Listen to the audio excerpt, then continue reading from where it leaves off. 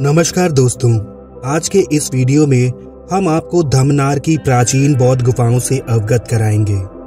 धमनार की ये गुफाएँ पुरातात्विक दृष्टि से बहुत महत्वपूर्ण हैं। इन चैल गुफाओं में बौद्ध सभ्यता का गौरवशाली इतिहास देखने को मिलता है। धमनार की ये गुफाएँ मध्य प्रदेश के मंदसौर ज़िले में समगढ़ तहसील के अंतर्गत आती हैं। यहाँ रेल मार्ग से पहुँचने के लिए शामगढ़ रेलवे स्टेशन सबसे नज़दीक है, जहाँ से इन गुफाओं की दूरी 23 किलोमीटर है।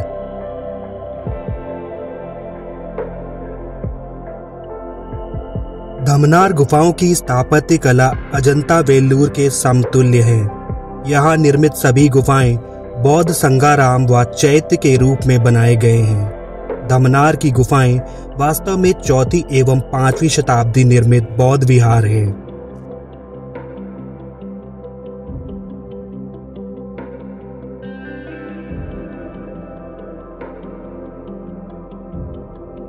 पश्चिम की ओर बनाई गई गुफाओं में बुद्ध की दो प्रतिमाएँ बनाई गई हैं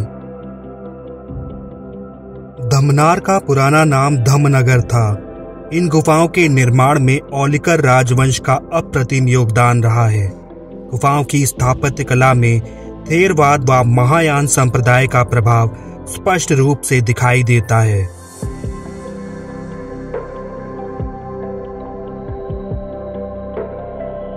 बारहवीं गुफा हाथी बंदी कहलाती है, जिसका प्रवेश द्वार साढ़े सोलह फीट ऊँचा है।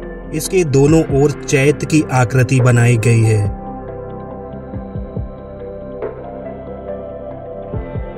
बारह नंबर गुफा के अंदर एक बड़े चैत्य का निर्माण किया गया है, जिसकी हर्मिका ऊपरी हिस्से के साथ जुड़ी हुई है।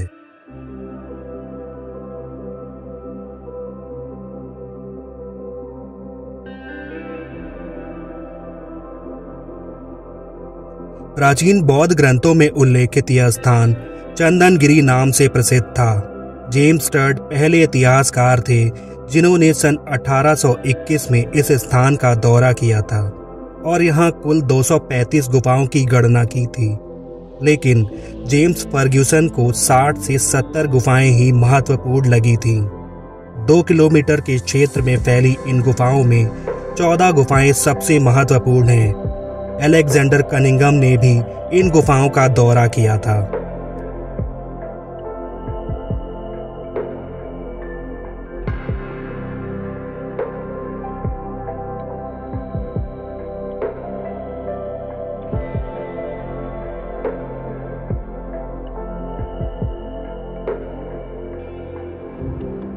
चंदनगिरी पहाड़ी पर स्थित इन गुफाओं की कुल संख्या 150 है, जिनमें से इक्यावन गुफाओं को एएसआई ने संरक्षित किया है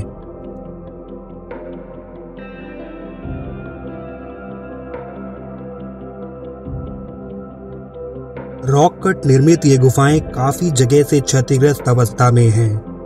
एएसआई ने लेटेराइट पत्थरों के माध्यम से इन्हें सहेजने का प्रयास किया है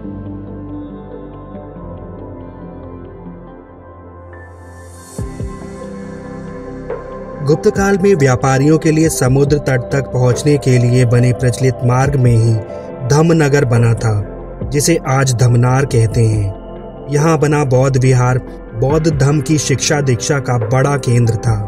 यहाँ व्यापारी ठहर कर विश्राम किया करते थे।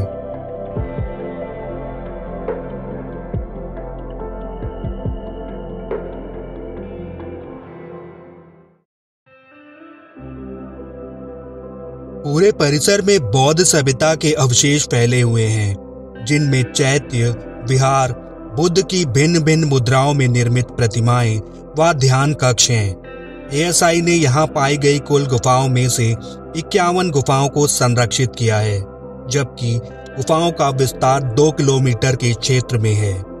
आगे के हिस्से में विशाल चैतियों का निर्माण किया गया है।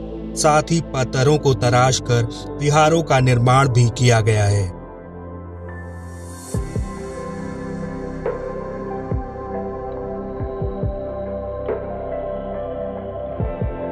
धमनार का प्राचीन नाम धमनगर था, जिसका वर्णन ओलिकर राजवंश के प्राप्त अभिलेखों में मिलता है।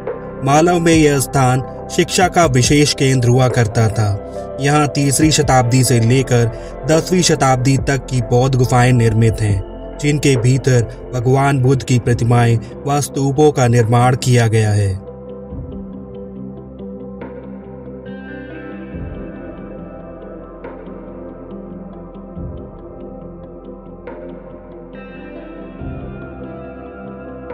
चौथी गुफा में एक चैत्य की आकृति बनाई गई है, जिसके बगल में एक ध्यान साधना कक्ष का निर्माण किया गया है।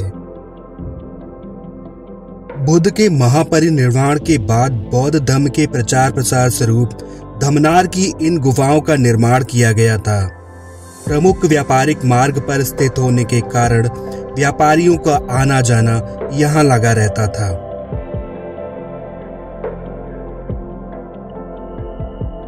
तीसरी गुफा के भीतर एक चैत्य का निर्माण किया गया है। चैत्य का निर्माण प्रमुख बौद्ध भिक्षुओं की निशानी के तौर पर किया जाता था, जिनसे प्रेरित होकर जनमानस अपने जीवन में सकारात्मक ऊर्जा का संचार कर सके।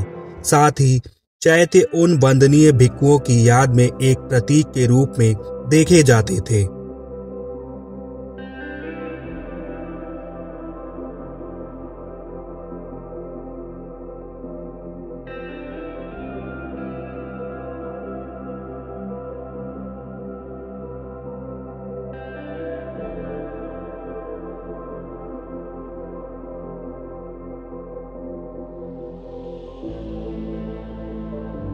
पांचवी गुफा में बौद्ध भिक्षुओं के लिए बनाए गए ध्यान साधना स्थल हैं। यहाँ निर्मित अधिकतर गुफाएँ शिक्षा व बौद्ध भिक्षुओं के विचार विमर्श का केंद्र थी यहाँ विपत्सना व ध्यान के माध्यम से मन में उठने वाली जिज्ञासाओं का समाधान बौद्ध भिक्षु आपस में मिलजुल कर किया करते थे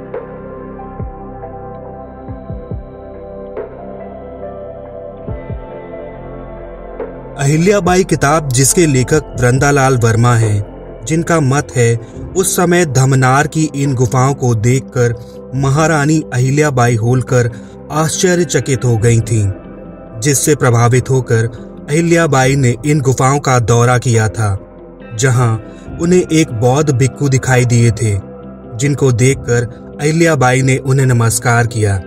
बौद्ध भिक्खु ने अपना परिचय दिया।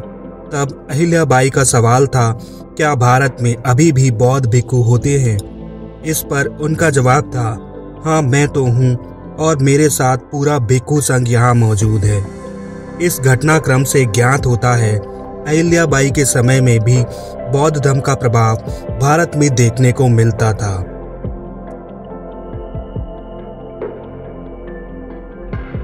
साथियों, वीडियो का अगला भाग हम जल्द ही आपके सामने लाने का प्रयास करेंगे।